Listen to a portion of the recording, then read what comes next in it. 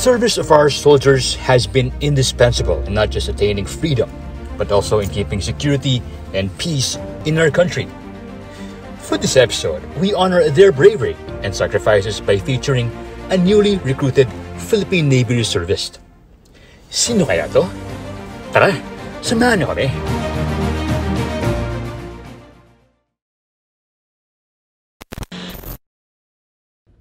Hello there! Welcome to Real Drive.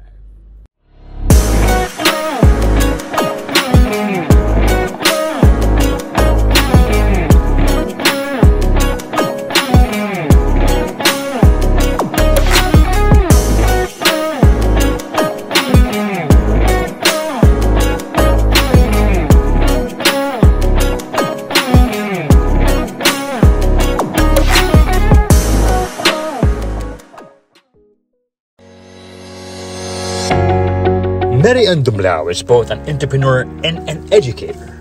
Currently, she is taking up her PhD in Philippine Women University. Recently, she topped her class in the basic citizen military course training this year under the Philippine Navy Reserve.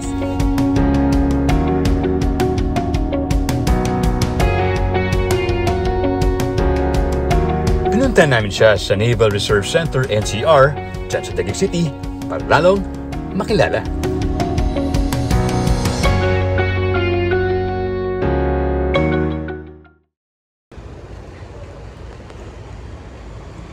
Okay, dito tayo ngayon sa NRCN sa Taguig City para intervene si Mary Ann Dumlao.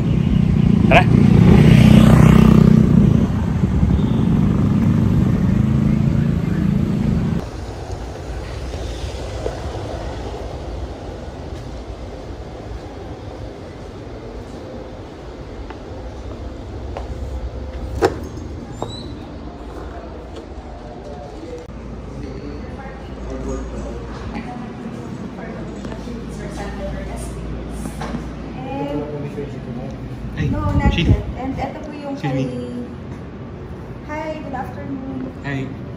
Pwede ba ma- mabala lang Sure, sir. Okay lang. for the interview?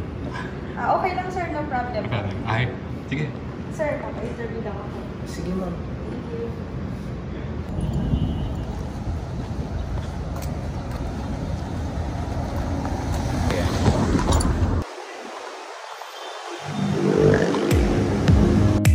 Alright guys, we have here Mary Ann Dumlao, a businesswoman, a regis- head registrar in a seafaring school, a dean also, and a Philippine Navy reservist. Kamusta? Um, I'm good. Hi everybody. Mabuhay. Ay- and welcome aboard, sir. Yeah. Yeah, I'm Mary Andumlao.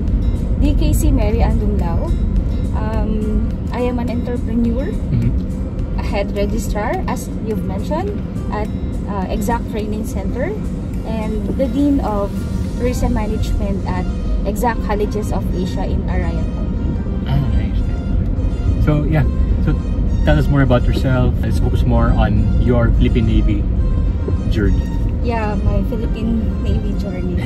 Very memorable actually.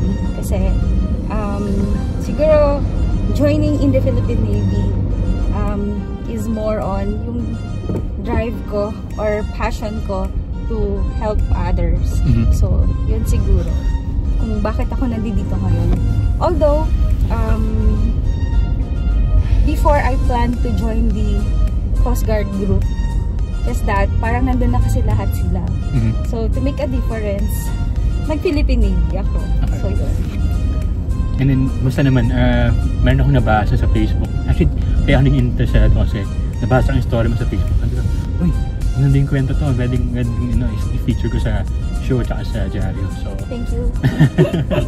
Actually, ano, yeah. kwento mo yung, yung, yung journey.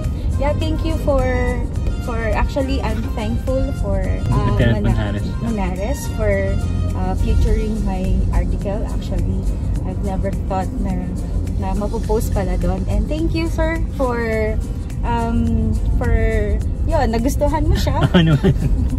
It's very interesting actually. Yeah, yung anything and everything na nakasulat naman kasi dun sir is actually like like I've mentioned very memorable sa akin. Mhm. It's my first time actually to to join uh, like yung training ng BCM ah, BCMC Yes. kasi 'di ba that is the prerequisite ah, training for you to be able to to get in into the ah, mili- ah, Navy Yes. ah, ah, Navy Reserve Mhm. yan so of course ah, yun nga nakakatakot kasi siya 'di ba who would kasi woman ako Yes. Mm. 'di ba woman ako and Hindi biro. syempre hindi biro naman na na sumala sa mga ganyan and you never know what's in there ba Mm. 'di ba and ano ba yung mangyayari sa akin what's Yeah. good about uh, joining 'di ba Mm. pero wala parang yun nga like I've mentioned passion ko kasi talagang tumulong Tumulong. nakikita ko kasi na they are, they are so active in helping yung sa community Mhm. uh, sa mga disasters and everything. So, lagi silang nandoon. So, I feel na gusto kong mapabilang. It's not because of whatever. Bas, ang gusto ko lang is to help.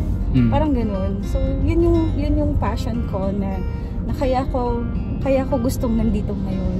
And very thankful ako kasi, ay, dati kasi ang dami kong iniisip, ang dami kong hesitations like, kaya ko ba? Di ba, nabasa mo naman yun Yes. kaya ko ba? And qualified ba ako? Eh, feeling, pa, feeling ko pa naman, di ba, hanggang palampa ko, di ba, tas babae pa ako. Ano bang mabibigay ko? Ano bang may tulong ko? Something like that. But of course, um, like I've mentioned, na wala naman kasi akong challenge na sinusubukan na hindi ko ah, tinatapos. Mm. Di ba? Sabi ko, I've never quit. In everything I do, pag sinimulan ko siya, tinatapos ko siya. Parang ano, yung nafe-feel at home ka whenever you go there to to comply the to submit and comply the requirements kasi Mm. parang ang babait naman ng mga taong dito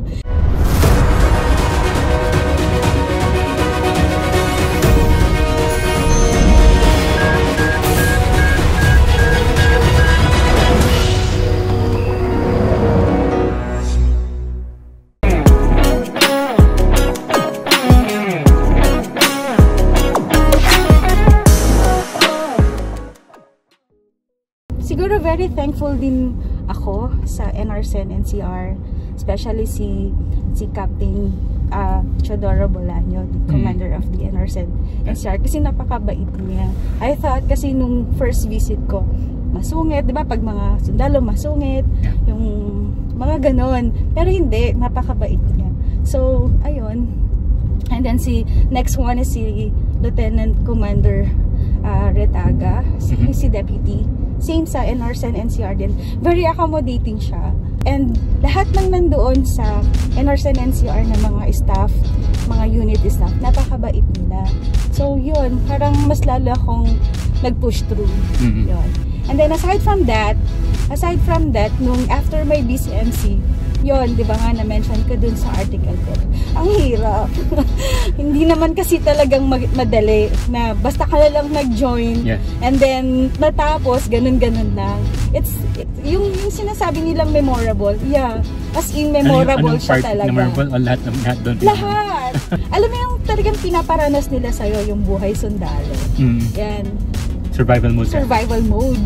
What will you do kung um, andun ka sa war, Sabihin ka ng sitwasyon. kung in, Kung nangyari oo, sa'yo? Yeah, ganun yung mga yung pinaparealize Mga nila sa inyo.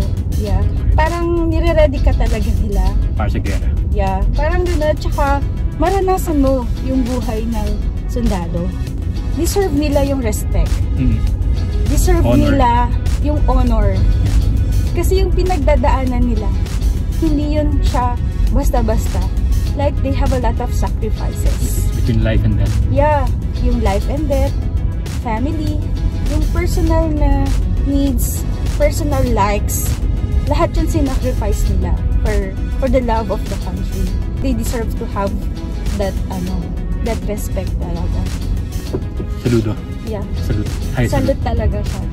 Yung, yung becoming a soldier, you deserve a salute and you deserve a respect talaga.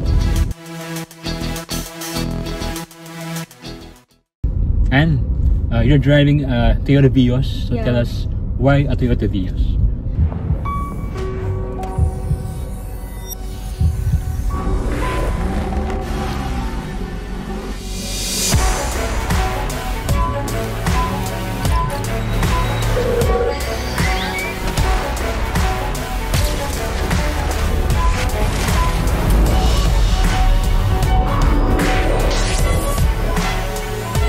Montero Sport. Elevate your journey. Drive your ambition. Mitsubishi Motors.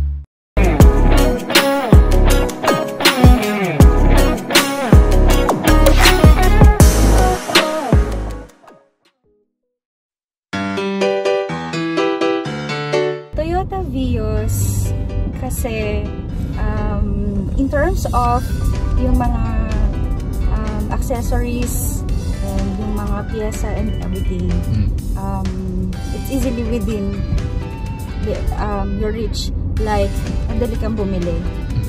So replacement and everything madali kang bumili. So wala siyang difficulty sa well in terms of that. And then convenient. Kasi um, kahit kumaga convenient siya kasi kahit like for example even my cousins if I want I, I ask them na i-drive siya alam nila yung yung ano kasi same same brand yung mga ginagamit Ayun. something like that yeah Toyota So you really love, you really love Toyota. mm, yung convenience siguro and yun nga like yung mga Ability. availability of parts Service. Yeah. Yun. Basta always available. Something like that. Parang ako kasi yan eh. Always Always available. available. o, diba? Parang ako kasi yan eh. Always available. o, diba? Parang, actually, kinakabit ko na yung personality ko dito sa sasakyan ko. Always available. Diba, pag nakita mo siya, para siyang lalaki. Yes. Uh, Diba, ah, outside. But when you go inside, babae babae siya. Jade. I, I, I actually pinangalan ko siyang Jade. Jade. Oh, kasi it's because of the color. Mhm. Si Jade, at night, grayish siya. Okay. Lalaki lalaki. Yeah, grayish siya.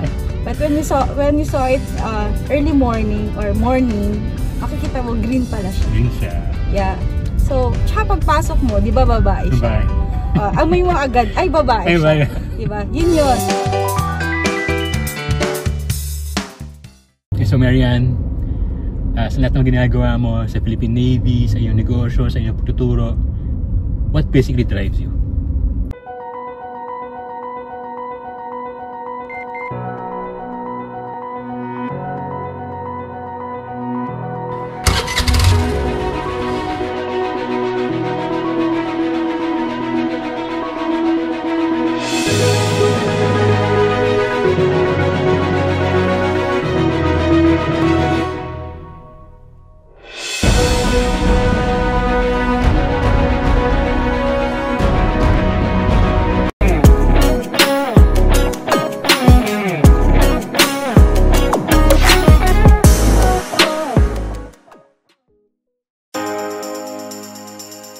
Yung passion ko to to help other people. The reason why of having yung multitask na mga jobs, yung marami kang work, marami kang ginagawa, is that for you to be able to to get more and to do more. Kasi 'di ba, pag the more you have, um, the more chances of you na makatulong ka sa ibang tao. Yes. Yun kasi talaga yun. Yun yung pinaka-passion ko. I- And I feel na that is my purpose. We are more on the operation.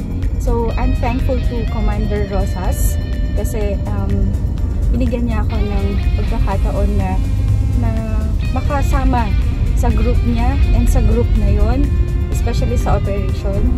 And then si si Maa Cañero, kasi napakabait niya as in yung ginagay ka niya si Sir Ensign Castaño yun din napakabait. And si Sir Romero si Ensign Romero siya yung pinaka OIC namin sa operation. So lahat sila actually ang babait ang mga activities namin. Lagi akong nag enjoy there are times na meron kaming bloodletting na eh, si, nag-aalala sa akin si si si si Maa Cañero kasi sabi niya, kakadonate mo lang ng blood.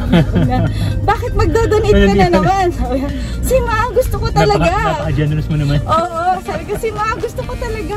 Ako, "Ay, hindi nga siya pwede. Sabi bakit yung iba? Alam mo yung, alam mo yung ganun ako ka, ganun ko ka gustong tumulong na kahit mawalan na ako ng dugo. Sige lang, ganun.